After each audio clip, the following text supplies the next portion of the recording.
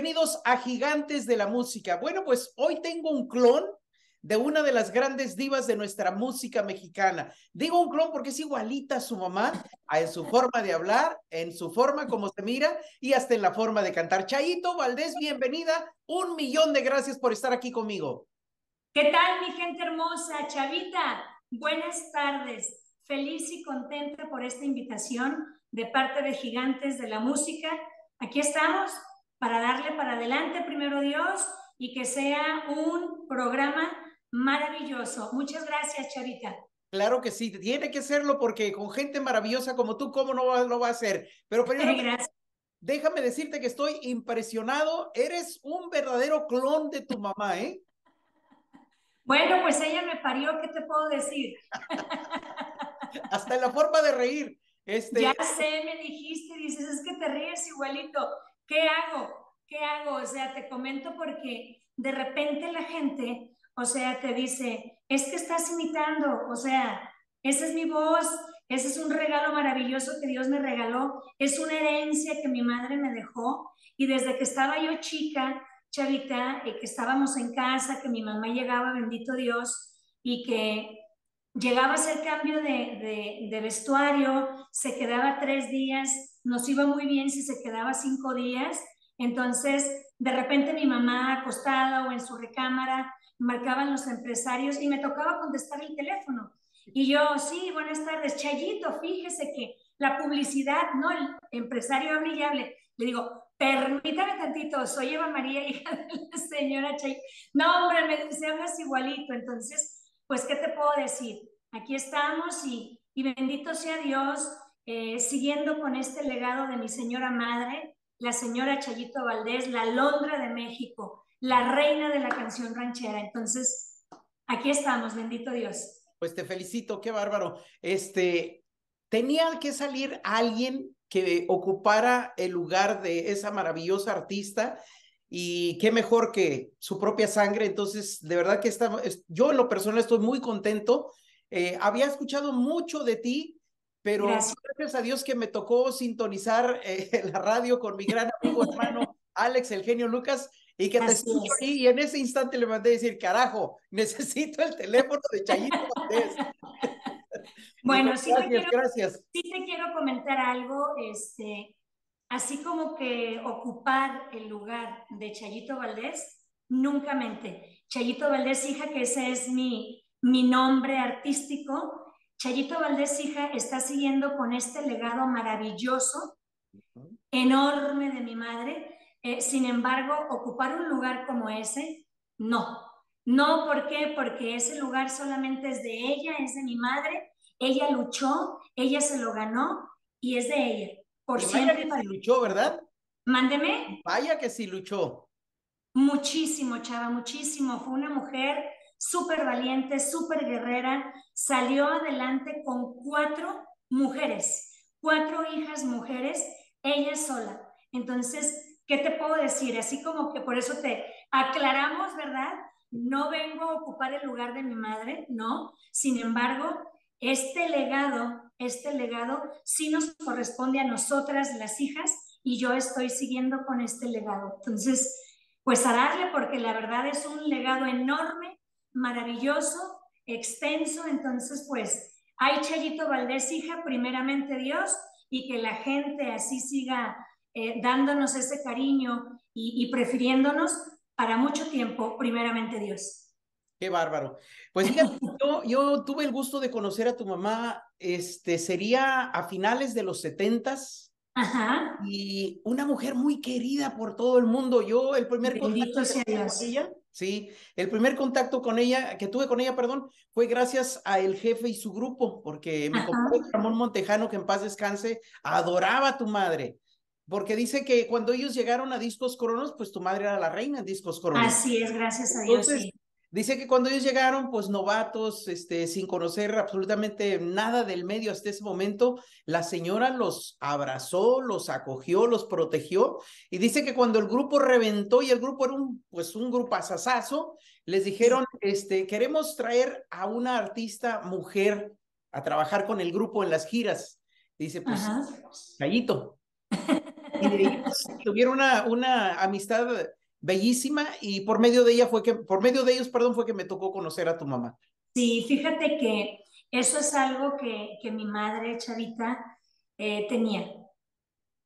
Siempre bien humilde, siempre querida donde estaba, porque venía de una familia de 12 hermanos. Dos fallecieron y quedaron 10. Entonces, te digo que lo que mi abuelita, mi mamá María, les enseñó a todos era el agradecimiento, el ser humildes, el ser unidos, el ser gente honesta, gente bien. Entonces, mi madre lo mamó de su madre, de mi mamá María, y, y mi mamá así era. Entonces, a mí me da mucho gusto siempre escuchar que, que me dicen, es que tu mamá era una persona que siempre estaba dispuesta a apoyarte, ayudarte, a echarte la mano. Y, y eso, eso de ser humilde la caracterizaba siempre a mi señora madre.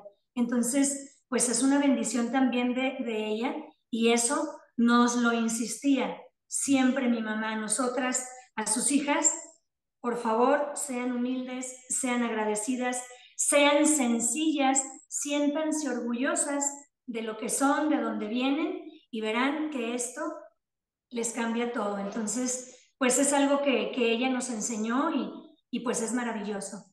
Fíjate que, como te lo acabo de mencionar, yo la conocí a finales de los setentas. Para ese tiempo, tú ya sabes que tu madre ya era una gran artista, una gran... Bendito sea Dios, así es. Y fíjate que yo empezando, tú sabes que cuando vas empezando, pues tienes todos los nervios del mundo y más cuando te acercas a una estrella tan grande, pues tú vas pensando, me irá a atender, este, irá a querer hacer la entrevista, o sea, te esperas lo peor de lo peor. Y tu madre siempre con una sonrisa, y tú lo acabas de mencionar, siempre amable, Así eh, es. cariñosa, era muy cariñosa esa mujer, tenía, tenía un carisma para hacerte sentir... eh, Nato, familia. nato. Sí, nato. sí, sí, sí, correcto. Fíjate, fíjate, Chavita, y a todos los, los radioescuchas, perdón, a todos los que están aquí presentes viendo este video, y también si lo pasas eh, por YouTube, que hay gente que lo está escuchando, a todos nuestros radioescuchas, les quiero comentar algo. Cuando nosotras teníamos vacaciones, mi madre nos llamaba. Señoritas, mijitas, se vienen conmigo. Quiero que sepan dónde ando. Quiero que sepan cómo me gano el dinero para llevarles a ustedes y que tengan un techo, que tengan una comida y que puedan estudiar. Entonces, fíjate que nos íbamos con ella y ya sabes, palenques, pues terminabas en la madrugada. ¿Mm? Mi señora madre, hasta que no terminaba la última foto y el último autógrafo para sus fans, era cuando nos retirábamos. Entonces, sí, o sea, sí, de verdad, así era ella. Tú lo viste, bendito sea Dios que tú estás dando testimonio de eso. Mucha gente puede decir también lo mismo, porque así era ella. Y no era, ni era ni truco, ni era mentira, ni era nada. Así era la señora Chayito Valdés. Atenta, amable con todo mundo. Fuera quien fuera, ¿eh? ¿Podrías platicarme más de ella? ¿Sabes cosas de su niñez? ¿Sabes dónde estudió? ¿Qué estudió? Este, ¿Cómo le fue en la vida en, la escuela primaria? No sé si estudió más allá de, las, de la primaria. Este, ¿qué- ¿Tus abuelos? ¿Quiénes fueron eh, sus papás? ¿Sus hermanos? ¿Podrías platicarme algo así de ella? Claro que sí, claro que sí, para que toda la gente sepa de viva voz de su hija, porque ya ves que de repente eh, te platican cosas que son incorrectas, te platican cosas que no son reales. Entonces, mira, mi madre eh, fue la primer mujer, fue la primer mujer de 10 hermanos, porque les comentaba, ellos fueron 12. Sin embargo, fallecieron dos, el hermano más grande y el cuate de un tío mío. Entonces quedaron 10. Y ella fue la quinta. Y fue, porque antes, ante, anterior a ella fueron cuatro hombres y ella fue la quinta. Entonces, este, pues para mi mamá María, mi madre era así como que la mano derecha de ella. Era el apoyo. Mi mamá María se apoyaba mucho en mi mamá. Entonces, tristemente mi madre, pues no pudo estudiar eh, más de la primaria, solamente llegó hasta quinto grado de primaria. Ah. Ella estudió así es, allá en Guasave, Sinaloa, y, llegó hasta quinto de primaria porque le ayudaba a mi mamá María, imagínate, tantos hijos, eh, vendía pan, vendía tamales, se iba a la pizca del algodón, trabajaba, sí, trabajaba ella de doméstica ahí en Guasave con una familia que la adoraban. También estuvo trabajando en un lugar, en una tienda ahí en Guasave, Almacenes García. Ese, ese, esa tienda vendía ropa. Entonces ponían pues una como bocina, un micrófono, ¿verdad? Y ponían ahí música y mi mamá cantaba e invitaba a la gente a pasar ahí. Entonces, pues tristemente mi madre no pudo, no pudo hacer secundaria o, o estudios un poquito más, más avanzados, ¿verdad? Hasta el quinto de primaria hizo mi mamá. Y pues aún así, o sea, por lo menos supo leer y escribir y así con su quinto de primaria, mi madre llegó hasta donde llegó. Bendito sea Dios, porque siempre buscaba, siempre le echaba. Entonces, mi madre, te digo, fue la quinta de, los diez hermanos que, viven y este, haz de cuenta que a todos, a todos, a todos los apoyó, a todos. Les dio casa, les apoyó económicamente, uno que ya falleció, mi tío Chito, eh, le compró un, un tortón porque mi tío era chofer y, este, y hacía viajes, ¿no? Entonces, a todos, a todos, no quiero saber quién no, a todos les echó la mano. Entonces, eran unas cosas divinas cuando pasábamos Navidad, Año Nuevo, vacaciones eh, de Semana Santa, vacaciones largas, y corríamos hacia Guasave porque nos tuvimos que venir de allá de Guasave, precisamente porque mi mamá, como tú lo dices, en los setentas, ella se vino para acá y Discos Cronos eh, fue la primera disquera que a ella la, la, la firmó. Entonces nos tuvimos que venir a Guadalajara precisamente porque tenía que trasladarse a toda la República Mexicana y ahí no teníamos la manera de estar en un aeropuerto cerca. Lo más cercano era Mazatlán y antes no había autopista, quedaba como a seis horas y media, siete. Si bien le iba, si bien le iba, estaba Culiacán. Entonces, pues estaba retirado y ella decide que nos venimos para acá, para Guadalajara. Y resulta que sí, tenía aquí lo de la disquera y de aquí se desplazaba con mayor facilidad por el tema del aeropuerto.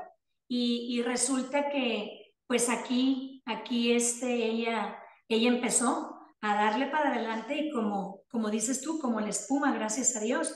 Entonces, esa fue, esa fue parte de, de la historia de mi mamá y de nosotros también, que tuvimos que venirnos para acá, para, para Guadalajara. ¿Tus abuelitos a qué se dedicaban? ¿Sabes a qué se dedicaban ellos cuando eran jóvenes? Fíjate, fíjate que mi mamá María, te digo, fueron pues muchísimos, muchísimos hijos. Ella era ama de casa y mi abuelito fallece cuando mi mamá María está embarazada de mi tía la más chica, mi tía Juanita. Entonces, pues, ¿qué te digo? Mi mamá María se dedicaba a su casa y fallece mi abuelito. Ellos de su trabajo, te mentiría si te dijera se dedicaba a esto. De eso sí no, no, a lo mejor lo sabía, pero en este momento no te sé decir a qué se dedicaba mi abuelito. Quiero pensar que al campo, porque toda la gente se dedicaba al campo en ese tiempo pero te mentiría, o sea, no quiero echarte mentiras ni mentirle a la gente. Y a lo que sí te digo que, que pues mi mamá María estaba embarazada cuando mi abuelito murió. Y no, hombre, imagínate sacar adelante a 10 ella sola. Te puedo decir de ella porque vivimos con ella y porque estuvimos con ella, con mi abuelita. Ella se dedicaba a hacer este, comidas, cenas, tenía su senaduría y pues así le hacía, y te digo, y mandaba a todos y a vender tamales, a vender atoles, a, vender, atoles, a vender pan. Entonces, todos le echaron la mano y te digo, se apoyaba mucho en mi mamá porque era la primera mujer de las mujeres que tuvo. Y ahorita, por ejemplo, ya falleció mi tío Chito, falleció mi nino Chelis, entonces, este, pues bendito Dios, ya y, mi mamá, pues que, que ya está descansando también, entonces quedan nada más siete de los hermanos. ¿Fue tu mamá la única artista en la familia o hubo algunos otros más que fueron artistas? Mi mamá fue la que inició eh, cantando y una hermana de ella, mi madre, le echó la mano también. De hecho, le grabó, le grabó un disco en Guadalajara, le grabó un disco para que, pues para que se echara ella también la mano, ¿verdad? Y, y sí, sí también grabó su disco, pero ya dejó ese disco ahí y ya no siguió con, con la carrera, ¿verdad? Pero una hermana de mi mamá también. ¿Tienes idea de dónde le vino ese deseo de ser artista? ¿Se inspiró a alguien para, se inspiró ella en alguien para, para querer ser artista o, o cómo surgió ese amor por la música de Chayito? Pues ya lo traía en la sangre porque mi abuelito cantaba bien bonito y mi mamá María ni me digas. Entonces sí, o sea, ya lo traía y a los Valdés también de ahí viene, o sea, de que les viene la, la, la música pues ahí en la sangre por las venas. Qué bien, qué bien. ¿A qué edad crees tú que debutó o te han dicho en la familia a qué edad debutó ella? Bien chica. Ella cantaba, te digo, desde pues, chiquita, fácilmente tenía siete, nueve años. Wow. Siete, nueve años cuando ella cantaba. Y andaba en la pizca del algodón y mi mamá cantaba, o sea, les cantaba ahí a todos, desde bien chica. Y hay una cosa bien bonita y bien importante. Cuando la señora Amalia Mendoza, la Tariacul, que en paz descanse, pasa por ahí por Guasave. Ella tuvo presentación, eh, si mal no recuerdo, en el Cine Murcia, ahí se presentaban artistas. Cuando escucha a mi mamá, no hombre, ella se la quiere llevar para la Ciudad de México, pero mi abuelita no la dejó, es que estaba muy chica mi mamá, o sea, en ese tiempo que la señora Amalia Mendoza quería llevársela, mi mamá tendría entre 11 y 12 años. Entonces estaba bien chica y mi abuelita no la dejó ir. No la dejó ir, sin embargo, mi madre le siguió, pero muy chiquita empezó a cantar mi mamá.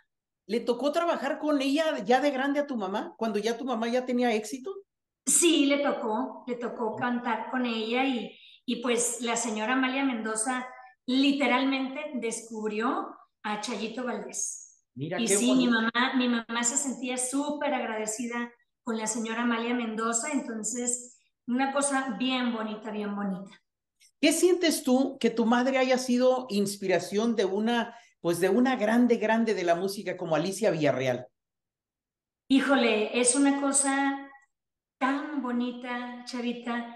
Me siento bien orgullosa de que mi madre haya inspirado a muchísima gente y que todavía hasta ahorita, Chavita, mi madre siga inspirando y mi madre siga moviendo fibras y que ese amor y ese cariño que la gente, respeto también que le tiene a mi madre, siga vivo. Eso es bien bonito, se te enchina la piel, sientes maravilloso decir, wow, mi madre logró todo eso y mi madre inspiró todo eso.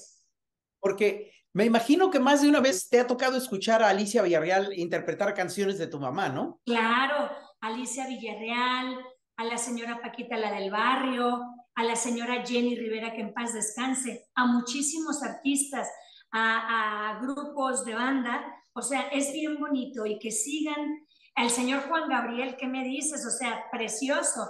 Es bien hermoso, es bien hermoso. Y, y te digo que, que uno se inspira mucho y que uno se siente bien privilegiado y bien orgulloso de la madre que yo tuve. ¿Cómo no? ¿Cómo no? Más quisiera no tener el orgullo que tiene por esa señora. y, por ejemplo, háblame de ti. Este, ¿a ti te nació el amor por la música ya después de que tu mamá se nos fue de este mundo o ya también lo traías? No, desde chiquita. A mí siempre me había gustado cantar, siempre me encantaba y, y pues haz de cuenta que, que desde chica. Y cuando estábamos, que íbamos con mi mamá, por ejemplo, este, yo estaba bien chica y allá en Mochis, mi mamá tenía una presentación ahí en un restaurante y ya sabes, vente mijita y un palomazo, o sea, pero yo bien chica, chava, yo bien chica, entonces siempre me había gustado y siempre tenía amor por eh, la misma carrera que mi madre y me encantaba cantar. Entonces, por ejemplo, también en Guasave eh, hubo un evento muy bonito donde le entregaron a mi madre las llaves, las llaves y pues era la hija predilecta de ahí. Y ya sabes, ¿no? Viene el mariachi este Vargas, allá sabe, sí, y también me eché mi palomazo, o sea, me encantaba y mi mamá sabía, siempre ella lo supo y de hecho, por ejemplo, este, yo iba a cantar la canción, la respuesta de, de la de la mochila azul, donde canta Pedrito Fernández. Ya me la había dado mi mamá y todo, ya me sabía la canción al revés y al derecho. Entonces, hermosa la canción. Y fíjate que me dice, no, mijita, no vas a cantar. ¿Cómo crees, mamá? ¿Por qué? Primero vas a estudiar, me dice.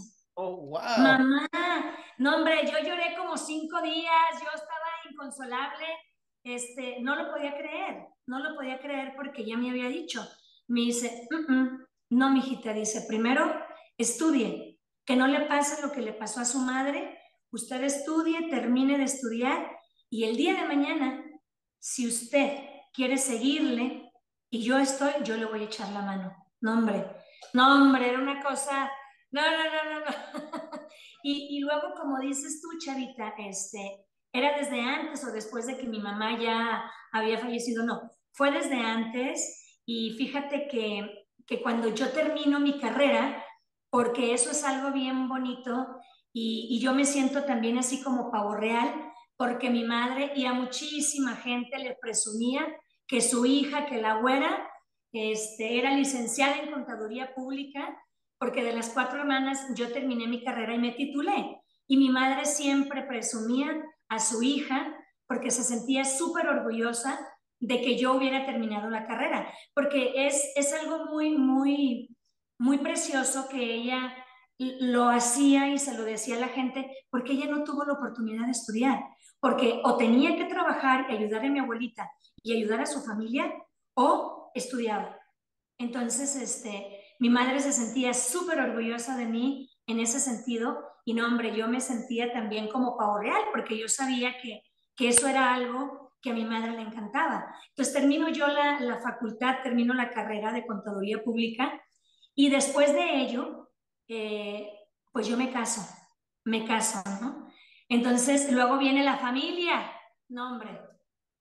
Y ya finalmente, este, ya sabes, tiene uno diferencias, se cierra ese ciclo del matrimonio que yo tuve con el papá de mis hijos, entonces es cuando yo empiezo, empiezo a darle eh, a ese sueño mío de toda mi vida, a darle su empujón y a echar a andar ese sueño tan maravilloso de cantar. Y grabé, grabé este, el primer disco, que pues era recopilar temas de mi madre, que era bien difícil, chava, porque Tú sabes que es un legado muy grande, eran muchísimas canciones. Entonces, en ese primer, en ese primer disco se graba eh, Mi Soldadita, Besos y Copas, se graba Una noche me embriagué, Fallaste Corazón, y de ahí también viene Media Vida, Hablando Claro, El Amor de tu Vida, Tres veces te engañé, y vienen también dos temas en ese, en ese disco que pues me tocó cantar, Malo y traicionero y vete y déjame en paz.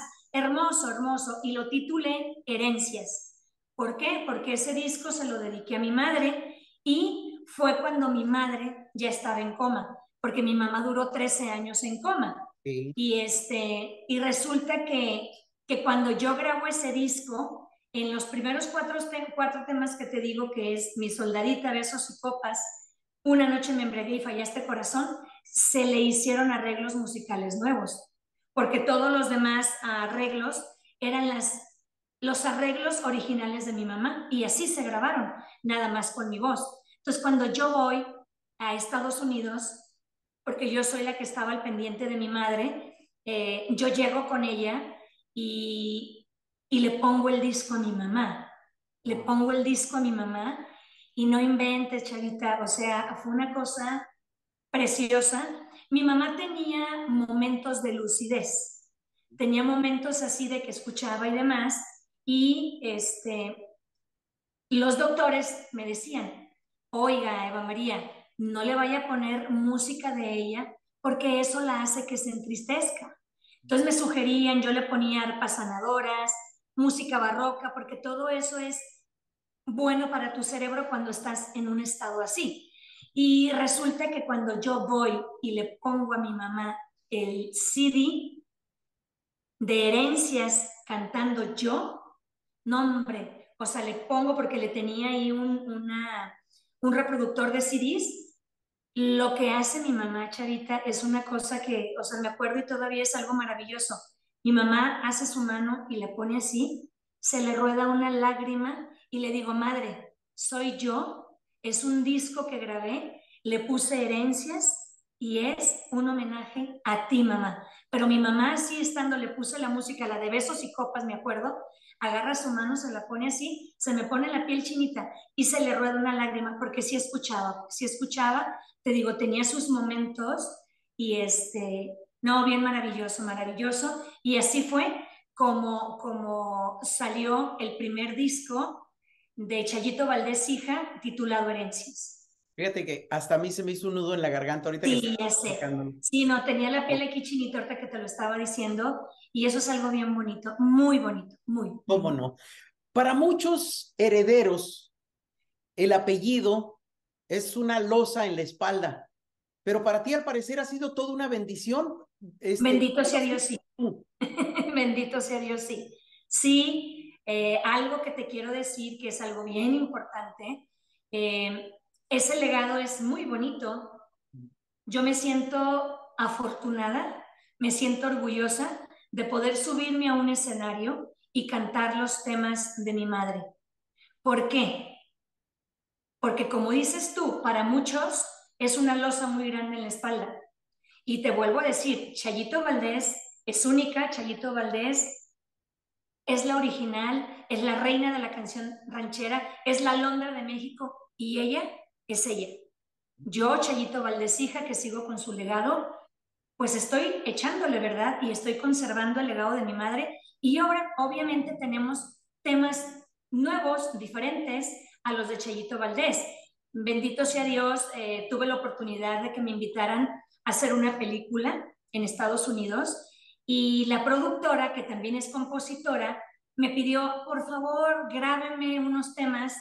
Le grabé dos temas yo soy la gallera, que por ahí las de haber escuchado en YouTube, este, por ahí anda, eh, en tu propia cama, y son temas que participaron en la película. Entonces, te digo, sí, sí es una responsabilidad, porque Chayito Valdés no era, no era cualquier vecina, no era cualquier persona. Chayito Valdés fue una leyenda, una señorona, una dama. Entonces, o sea, no cualquiera podemos subirnos a un escenario y nada más decir, ah, voy a cantar una canción de ella. No, señor, no, señor. Tenemos que tener respeto, tenemos que ser profesionales y tenemos que hacer las cosas igual o mejor. O mejor. Porque, perdón, porque eso, eso sí, o sea, quiero que sepan que mi madre le encantaba hacer las cosas bien, bien. Y decía, si no vas a hacer las cosas bien hechas, ni te metas ni lo hagas. No, hombre. Entonces, bajo esas circunstancias, ¿qué te puedo decir? Me da mucha risa porque ese es mi lema. Yo también, todos los muchachos que empezaron a trabajar conmigo en la radio y que tuve la fortuna de ayudarles a muchísimos a hacer las estrellas que son, yo siempre les digo, si vas a hacer algo, hazlo bien o mejor, no lo hagas. Así no te metas. Ah, pues así, así lo decía mi mamá y era muy estricta en ese sentido, ¿eh? Muy. Entonces, pues, ¿qué te digo? Pero fíjate que el ser así produce lo que tú estás haciendo, porque gracias a ella, pues, tú eres lo que eres. Así es, así es. Sí, sí, sí, o sea, te digo, no tienes otra alternativa. O lo haces bien o lo haces mucho mejor. no hay vuelta de hoja. Háblame de ella, ¿qué ocasionó que quedara en silla de ruedas? Mira, mi mamá estaba trabajando, te digo, trabajaba aquí en la República y tenía un evento bien importante, me acuerdo, en Monterrey. Se iba a inaugurar la Macroplaza. Y mm. resulta que uno de los Garza, un empresario bien importante, que también iba para arriba, este, contrata a Chayito Valdés y le dice, Chayito, vamos a, este, a inaugurar la Macroplaza y la vas a inaugurar tú. Ah, claro que sí. Mi mamá tenía casas en Estados Unidos y tenía casas en Guadalajara. Entonces, mi madre tenía compromiso en Concepción del Oro, Zacatecas. Tenía Palenque, me acuerdo. Y resulta que este, que le dice el señor Garza, mi mamá ya tenía los boletos de avión para volar de ahí de Zacatecas a Monterrey, pasaba a McAllen, Texas, donde tenía, teníamos casa también allá, y ya de ahí se iba a Monterrey al evento que tenía. Entonces, este, le dice el señor Garza, Chayito, no quiero, por favor, que por cualquier cosa, lo que sea, no quiero que vayamos a tener alguna, alguna negligencia, algo que, que no nos permita este, llevar a cabo el evento. Yo voy por usted, le dice, yo voy por usted ahí a, a, Concepción del Oro. No, señor, le dice, ya tenemos los boletos de avión, le dice, ni se preocupe, yo le voy a cumplir, le dice mi mamá. Yo voy a estar ahí con usted inaugurando la macroplaza. No, Chayita. Bueno, pues se fue el señor Garza, terminaron el palenque y mi mamá y Norma, que también en paz descanse, eh, era pues su mano derecha, su asistente. Me acuerdo que don Juanito le dice, comadre, yo me voy a Guadalajara y de Guadalajara vuelvo a Monterrey, le dice, porque ya tenían los boletos así. Entonces él no se fue. El señor traía una camioneta nueva, una, una pick-up. Entonces va manejando el señor y le dice, le dice este Norma a mi mamá. No, le dice mi mamá Norma, le dice, yo me voy a dormir.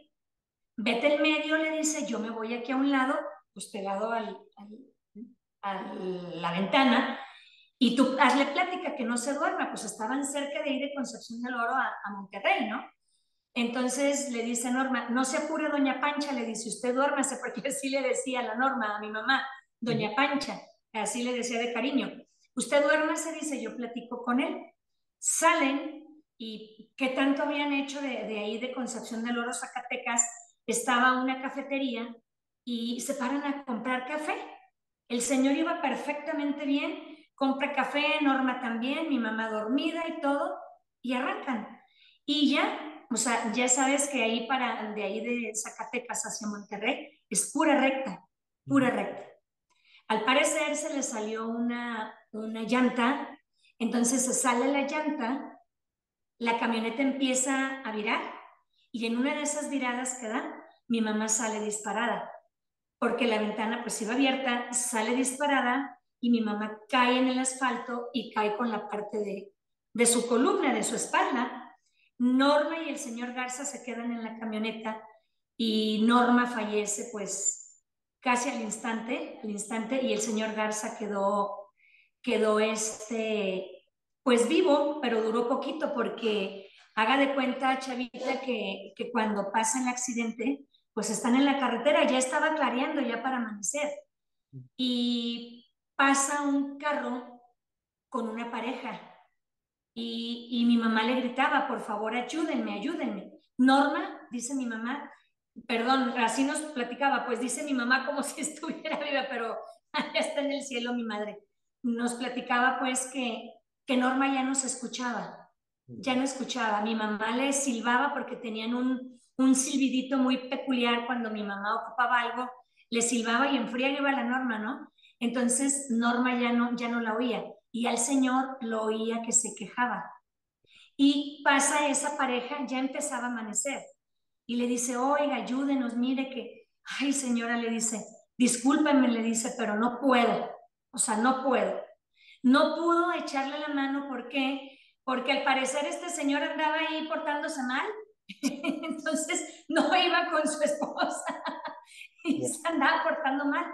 Pero lo que sí hizo fue parar a un camión, un camión de pasajeros, es este, el que se para y le echa la mano a mi mamá. O sea, a mi mamá la levantan, la levantan de ahí de donde estaba ella tirada, pues así como pudieron, ellos querían llevársela, la echaron donde va las maletas, ahí pusieron a mi mamá y también al señor. A Norma no la levantaron porque Norma ya estaba muerta. Entonces, medio que agarran, pues todo quedó ahí tirado, ¿verdad? Entonces, este, el señor, el chofer del, del camión, va y la deja en el seguro, ahí, entonces, cuando la manipularon, ya lo que está, como dice uno, o sea, cuando le toca a uno, le toca. Bendito Dios, la levantaron, la llevaron y este, la llevaron a Zacatecas, o sea, se, se, regresaron un poquito, creo, Y, este, y cuando iban en el camino, pues mi mamá hablaba y hablaba y el señor nomás se quejaba, pero ya lo dejó de escuchar y falleció en el trayecto el señor Garza. Entonces mi mamá llega y a ella, a ella le echan la mano. Entonces ahí donde ella llega al Seguro Social, ahí también el hermano del esposo de mi hermana, la más grande, doctor, ahí estaba. Entonces luego, luego la, reconoció Chayito y ya le dice, échame la mano, mira que pasó esto, lo otro. Y ya de ahí fue que, este, que empezaron a, avisar pues a la familia porque el señor Eliseo, en paz descanse, él este, les avisó que ahí la vio, pues ahí estaba. Y, y sí fue un golpe muy fuerte eh, que tuvo mi madre en la columna y a raíz de eso mi mamá quedó en silla de ruedas porque se le salió todo el líquido de su columna. Entonces, ella después de, de, que, de que salió adelante, que le hicieron operaciones, le pusieron unas barras en su columna y ella siguió trabajando. Estamos hablando que se aventó como tres meses en convalecencia y todo esto y demás para que ella empezara otra vez a retomar su carrera. Pero eso fue lo que sucedió. Después, ¿qué pasó con ella? Porque ¿cómo fue que cayó en el coma? Mi mamá estaba trabajando en Nogales, Arizona. Estaba trabajando ahí, perdón, en Nogales, Sonora. Ella estaba allá en, Estados Unidos radicando y obviamente tenía casas aquí también en Guadalajara. Entonces iba y venía. Y sale del palenque, sale del palenque de ahí de Nogales, Sonora, y siempre mi mamá, pues cuando uno está cantando, terminas, te bajas del escenario y le da uno un chorro de hambre. Aparte de que uno come mucho, le da uno un buen de hambre. Sí, sí, cómo no. Sí, entonces mi mamá procuraba, procuraba pues comer lo más limpio que pudiera. Entonces salieron del palenque y había unos tacos. Entonces compró unos tacos. Se comió unos tacos y se venía para acá, para Guadalajara. Era tiempo del puro calor, estaba bien caliente. Entonces, al parecer, le da, le da de, se le descompone ahí su estómago, le da diarrea. Entonces le marca a su doctor, al urólogo. Le dice, oiga doctor, le dice, fíjese que este, me comí unos tacos, le dice ahí en Nogales, y pues me soltaron el estómago. No se apure, Chayito, le dice y le dice mi mamá, pues un suero o algo, le dice, no me quiero deshidratar porque este, el calor está muy fuerte y tengo compromisos. Véngase, le dice, véngase al hospital y dice, y le pongo un suero para que se vaya a su casa, para que se hidrate. Pues ahí entró mi mamá al hospital, mi mamá estaba perfectamente bien, a excepción de que se le había soltado su estómago nada más, y resulta de que pues ya no salió, salió este, al parecer estaba muy raro ahí el asunto porque estando en el hospital, supuestamente este, les convulsionó que porque se le bajaron los niveles de sodio y potasio hasta el suelo. Y no, no es cierto, porque todos los estudios que mi mamá le habían hecho en Guadalajara y de todo lo que estaba sucediendo, yo eh, cuando llego a Estados Unidos con ella, eh, se los enseño a su doctora. Eh, la doctora Marta, me acuerdo, y le muestro todo y obviamente en Estados Unidos ni un estudio de los que yo llevaba le hicieron caso. Ellos hicieron estudios de pe a pa, todititito todo, de la punta del cabello hasta la punta del dedo gordo, y resulta que me dice, ¿qué le pasó a Chayito, Eva? Me dice. Digo, ¿sabes qué? Mira, este, al parecer eh, se le bajaron los niveles de sodio-potasio, los traía hasta el suelo, mi mamá convulsionó y ya cuando tenía todos los estudios me dice, no, me dice, eso no le sucedió a tu mamá, dice, tu mamá estuvo con falta de oxígeno en el cerebro por más de tres minutos. Entonces, dice, yo he tenido pacientes con niveles de sodio, potasio hasta el suelo, dice, y no convulsionan. Entonces, ¿cómo te explicas, Charita, que mi mamá estando en el hospital, o sea, le haya, le haya hecho falta oxígeno? Entonces, por ahí hubo mano negra, hubo mano negra y este, y pues ya sabes, ¿no? Ya sabes, eh, en el hospital no se quisieron hacer responsables, yo lo que quería era que me atendieran a mi mamá, y pues arrancamos para allá con, con mi mamá, eh, mi hermana la más chiquillo, para Estados Unidos, porque mi mamá estaba viviendo allá y obviamente pues tenía su, su seguro allá. Y bendito Dios, o sea, le hicieron todo y, y así fue que mi madre quedó en, en, en coma, en ese estado en que ella quedó. ¿Cuánto de, de, de, todos los hermanos, qué número eres tú de las hermanas, perdón? Yo soy la segunda. Entonces, eh, ¿hay alguien mayor que tú, lógico, en la familia? Es, así es, Cristina es la más grande y luego sigo yo. Sigue Cecilia y la más chica es Pilar. ¿Qué me dices? Y no te lo digo en mala onda, si me quieres contestar, me contestas, y si no, te lo respeto, pero ¿qué, ¿qué, sentías tú, por ejemplo, cuando las notas amarillistas decían que ustedes abandonaron a tu madre ahí en San Diego, que nunca la visitaban? Mira, este, toda la gente, toda la gente que desconoce, que ignora la realidad de las cosas, te va a hablar de lo que no sabe y de lo que supuestamente escucha. Entonces, eh, se tomó la determinación de no darle explicaciones a la gente. De hecho, Chavita, eh, porque decían que la teníamos abandonada, que no dejábamos que nadie la viera, que porque la teníamos en condiciones eh, deplorables, o sea, muchas cosas. Yo nada más, como dicen, uno ve, escucha y calla, porque yo no tengo por qué darle a todo mundo, no tengo por qué darle explicaciones, ¿sí? Se hizo un programa, me acuerdo que Jorge Nieto fue a Estados Unidos a entrevistarme porque quería ver a mi mamá. Y obviamente a mi madre se le permitían visitas estando nosotros ahí con ella. Si no estábamos nosotras, nadie podía ingresar a ver a mi mamá, porque esa era la instrucción que se tenía, ¿sí? A mi madre, y se lo comenté aquí a, a nuestro gran amigo Alex, se lo comenté porque esa era decisión de mi madre. Ella siempre fue tan respetuosa, Chavita, de, de todos sus fans, y ella decía, yo no quiero que me vean sin pintura, yo me debo a ellos. Entonces, hasta para ir a las tortillas, chavita, mi madre salía, o sea, de pe a pa, perfumada, bien arreglada. Cuando no alcanzaba, se ponía una cachucha, sus lentes y se pintaba la boca y se perfumaba. Pero ella, si le pedían una foto, les daba una foto a sus, a sus este, fans. Entonces, esa parte que ella nos pedía, siempre se la respetamos. ¿Por qué? Porque hay gente abusiva, que por vender una foto no le importan las condiciones en que se encuentra la persona, con tal de tener algo y hacerlo de una manera incorrecta. Entonces, siempre cuidaron esa parte que mi mamá también decía, no me expongan. Y qué bueno, porque no la íbamos a exponer, porque es nuestra madre, porque no se vale, porque era una figura pública.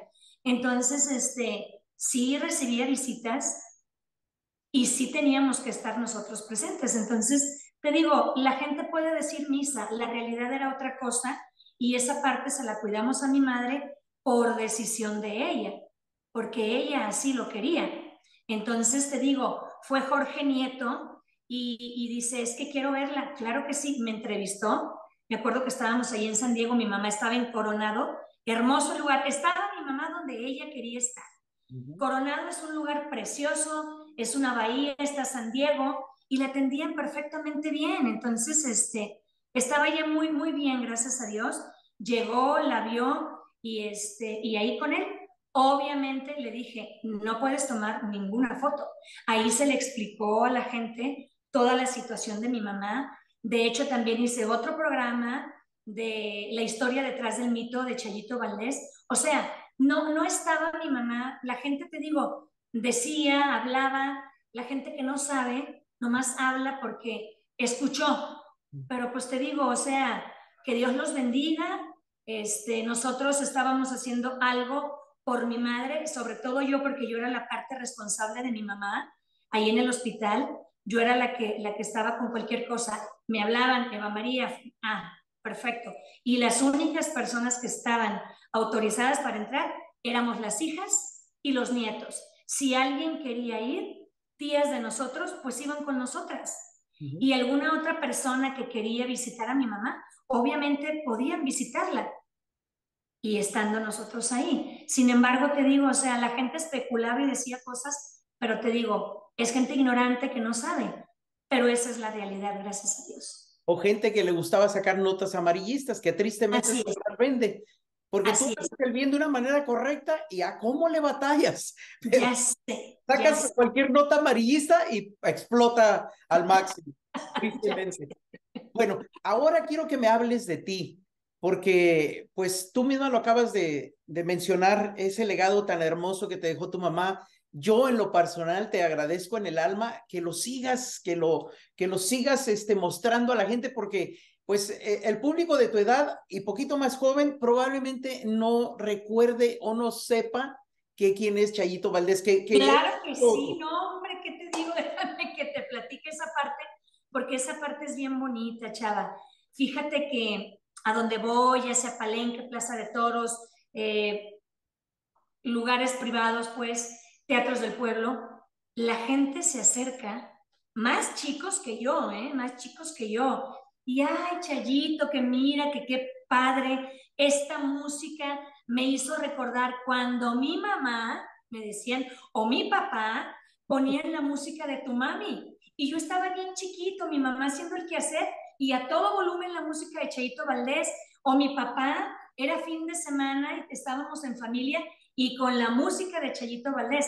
Entonces, no, hombre, claro que sí, más chicos que yo, o sea, me dicen que ellos crecieron con esa música porque sus papás les ponían esa música cuando estaban chicos y sus papás las escuchaban. Qué bonito, qué hermoso, la verdad. pues eh, ¿Qué buscas tú? Eh, tú como persona, ¿qué buscas en esta carrera? ¿Qué busco? Número uno, mi sueño. Mi sueño de cantar, de, de, hacer lo que me gusta, lo que me encanta, porque de verdad no sabes que te subes a un escenario y lo que gozo y disfruto estando en el escenario. O sea, ay, es bien bonito, se te olvida todo. el hecho de poder transmitirle a la gente el amor, el cariño, lo que a ti te gusta y que le traiga y que le evoque a ellos recuerdos bonitos, eso es fantástico. Entonces, primeramente, mi sueño, seguir realizando mi sueño. Eso es bien importante. Chayito Valdés, hija, ¿qué busca? Hacer una carrera artística y también seguir con ese legado tan bonito de mi madre. Obviamente con lo mío, con mis canciones nuevas, con canciones inéditas y seguir adelante. Entonces, ¿qué busco? Primero Dios, primero Dios, llegar al gusto de toda la gente. Que ellos me lo permitan. Te decía en una de nuestras conversaciones, cierras los ojos, te escuchan tu voz, te escuchan tu sonrisa y tu madre. Es tu madre. Pues sí, ¿Qué sientes cuando te decimos eso?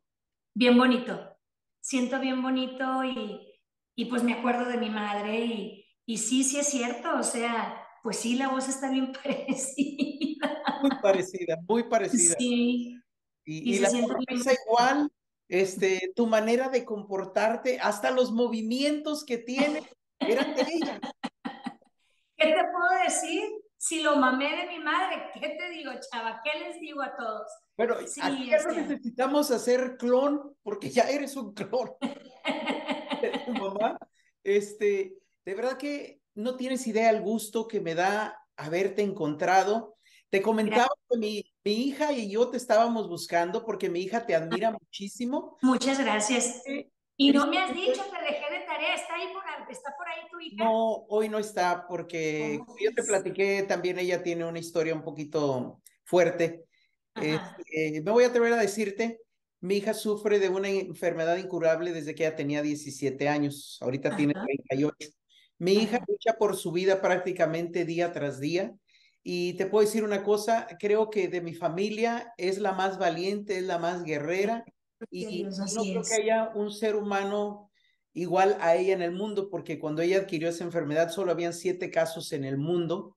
¿Cómo creen? Más lógicos, lógico, pero gracias a Dios, mi hija, estoy orgullosísimo de mis tres hijos, pero mi hija es algo especial y punto y aparte, porque te lo repito una vez más, es una guerrera. Ella me habló de ti ella me dijo, llegó un día y me dijo, Dad, este, ¿quién es Chayito Valdés?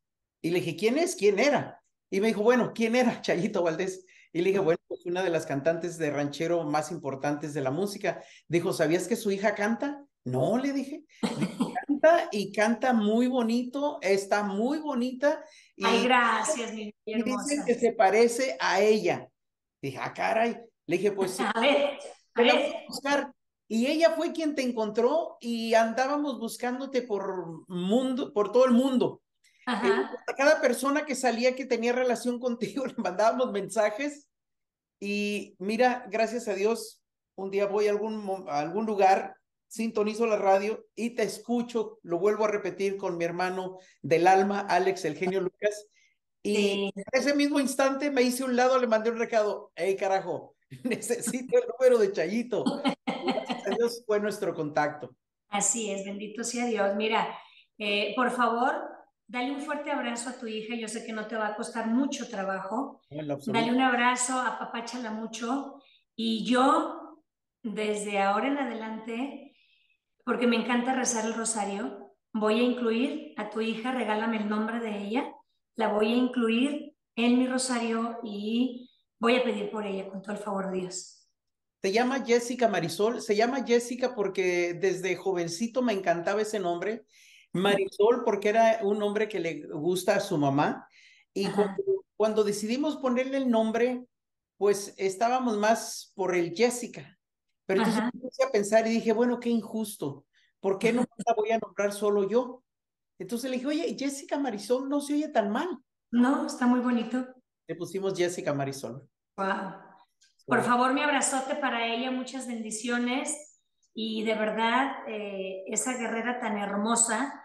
Yo eh, no sabes cómo admiro a todas esas personas y te voy a decir, mi madre duró 13 años en estado de coma.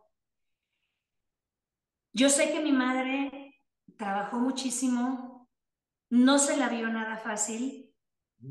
Te vuelvo a decir, sacó adelante a cuatro hijas, sacó adelante a todos sus hermanos, apoyó muchísimo a mi abuelita, a mi mamá María. Y cuando yo la veía, que estaba ahí, que la veía dormida, porque la mayor parte del tiempo estaba dormida, cuando abría sus ojos y que le hablaba, yo llegaba, y qué onda churro, porque sí le decía de cariño, qué onda churro, y llegaba y le saludaba y abría los ojos y pelaba los ojos. Este, yo le decía que estaba descansando de tantas friegas que se había puesto mi mamá, de tanto que trabajó, de tanto que se desveló y que estaba ella en, un, en una tregua ahí con Dios nuestro Señor, o sea, que estaba ella descansando de tanto que había hecho. Entonces, no sabes lo que admiro todo eso. Eh, mi felicitación para tu hija porque no es nada fácil y, y, el que sean unas valientes guerreras, porque eso fue mi madre y hasta ahí en ese momento fue ejemplo de valentía, de ser fuerte, de ser una luchona y de seguir siendo una chingona, porque eso era mi mamá. Esa y es eso la- lo mostró ahí por 13 años. Ella no tenía absolutamente nada, tú la veías, ella respiraba por ella misma, no estaba conectada a nada, ¿sí? Y estaba perfectamente bien. Estaba en estado de coma, nada más. Pues Te digo, se tomó, se tomó su pausa, era su descanso y ¿qué te puedo decir? Pero, pero una guerrera mi madre. estoy seguro que ella, al mirarte todos los días, porque ella te mira, te aseguro que te mira. Claro, Al mirarte todos los días, ella está orgullosísima de ti y Yo lo sé que sí. De saber que eres un Muy. ser humano maravilloso como lo era ella, porque te vuelvo a repetir, este, yo cuando me acerqué a esa mujer, yo me acerqué con mucho temor, porque no porque me dijeran cosas malas de ella, sino por la novatez. Te Ajá, puedo asegurar que quizás fue en mi primer año de, de estar en este medio, así es. totalmente verde.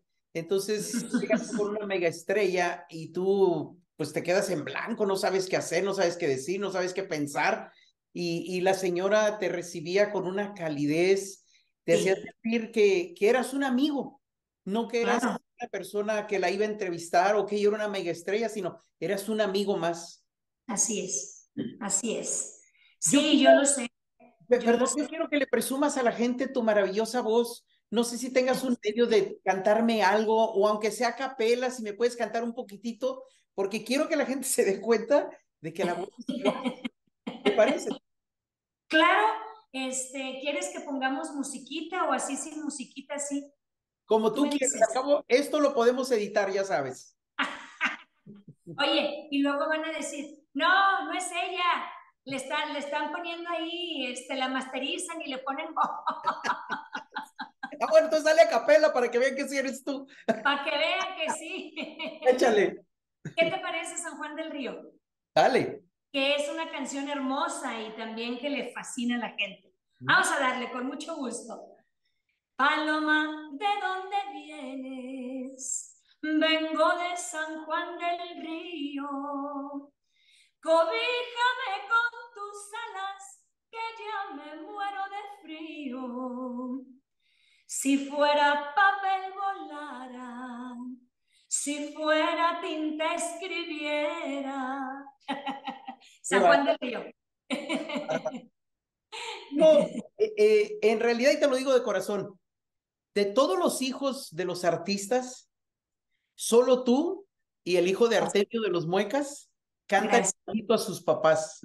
Los cantan algo parecido, pero ninguno tan igual como tú y como Eri, el hijo de Artemio de los Muecas. Los dos. Muchas gracias, ¿qué te puedo decir? si es el regalote que me dejó mi madre, la herencia, y el regalo que me dio Dios. Háblame un poquitito de ti antes de irnos, este, ¿Dónde estudiaste? ¿Qué estudiaste? ¿Cuántos hijos tienes? Porque me dijiste que tienes hijos. Sí, sí tengo. Mira, eh, cuando nos vinimos de allá de Guasave, pues yo estaba bien chica, estábamos chiquitas. Eh, llegamos a Guadalajara y yo hice parte de cuarto de primaria. Cuarto, quinto y sexto lo hice en Guadalajara. Hice mi secundaria, mi preparatoria y mi facultad en Guadalajara. Entonces, realmente, pues hice todos mis estudios y me titulé y demás. Eh, fue aquí en Guadalajara. Y me casé, me casé, tuve tres hijos, Miranda, Héctor Alfredo y Héctor Antonio. Los tres, bendito sea Dios, les encanta el deporte, porque a una servidora también me encanta el ejercicio, me encanta el voleibol. Entonces, cuando yo llevé a, a mi hija, la más grande, a que entrenar a voleibol, pues me quedaba yo también entrenar y jugaba voleibol. Ahorita no estoy jugando, pero me encanta, me encanta el voleibol, el básquetbol, el béisbol. Soy bien aferrada, bien aficionada a los deportes y mis tres hijos, la más grande juega voleibol y los otros dos juegan básquetbol. Les encanta. De hecho, el más chico también siguió los pasos de su abuela y de su madre, que también por ahí lo van a, lo van a este, escuchar. Eh, también siguió los pasos de, su abuelita y, y, canta. Entonces, pues por ahí andamos y, y sí, te digo, soy una mamá, eh, pues así, ¿qué te digo? Pues si es lo que mamé de mi madre, bien exigente, bien este, que los trae aquí. Qué, ¿Qué te digo? ¿Qué te digo? Como dicen, el ejemplo arrastra. Entonces, este, pues sí, sí, ahí andan, ahí andan mis hijos, cada uno buscándole eh, sus sueños, sus carreras. Eh, la más grande ya se tituló y está jugando profesionalmente voleibol. El segundo está en la facultad y el más chico pidió un año ahí sabático que porque quería andar cantando y demás, y ahí anda, ya casi se le cumple, pero también echándole los kilos y trabajando, gracias a Dios. Qué bueno. Eh, para la gente que te necesite contactar, ¿a dónde te encuentran? Claro que sí, puedo comentarles de mis redes sociales. Por favor, todo lo que tengas para que la gente sepa de ti y te encuentre. Claro que sí, estamos en redes sociales, en TikTok, estamos como arroba Chayito Valdés hija, todo en minúsculas y pegadito. TikTok arriba arroba Chayito Valdés hija. En Instagram también pegadito, Chayito Valdés Hija. En Facebook estamos como Chayito Valdés y en la fanpage, en la página es Chayito Valdés Hija. En YouTube estamos como Chayito Valdés Hija también. Y entonces en todos lados estamos como Chayito Valdés hija. Perfecto. Pues ha sido más que un placer esta conversación contigo, de verdad que te lo agradezco en el alma. Te vuelvo a repetir, mi hija y yo te estábamos buscando por cielo, mar y tierra. Gracias. Y quiero Gracias. que ella está muy contenta, no está aquí conmigo, pero está muy contenta, sabe que estamos ahorita en este programa y te mando todos los saludos del mundo, te admira muchísimo. Los recibo, Jessica Marisol, con mucho amor y con mucho cariño. Dios te bendice, mi amor. Échale los kilos, siempre tomada de la mano de Dios, porque es el único que nos ayuda a salir adelante. Entonces, usted tómese de la mano de Él, le mando un abrazote y muchas bendiciones, y ese corazón tan maravilloso que tienes, mi amor, Él te lo va a seguir llenando de mucha luz y de amor. Y gracias por ese amor y ese cariño que tienes por mí, mi hija. Tienes un maravilloso Padre. Que Dios me los bendiga. Igualmente, cuídate mucho y estamos 100% a tus órdenes y que el cielo sea el límite para ti. Amén. Gracias, gracias a todos ustedes. Primeramente Dios, por aquí vamos a andar echándole gracias de corazón, Chavita, por esta entrevista tan maravillosa. Gracias por tu espacio, por tu invitación y sobre todo gracias a Alex que fue la conexión para que fuera posible esta, esta entrevista. Un abrazote, muchísimas gracias, que también me hizo el favorzote. Me encantó la entrevista de radio. Me encantó, me sentí bien cómoda, bien a gusto, al igual que contigo, Chavita. Mil gracias, de verdad, de todo corazón. Gracias por abrirme las puertas y aquí estamos también. Cuando se le ofrezca algo, ya tiene mi contacto.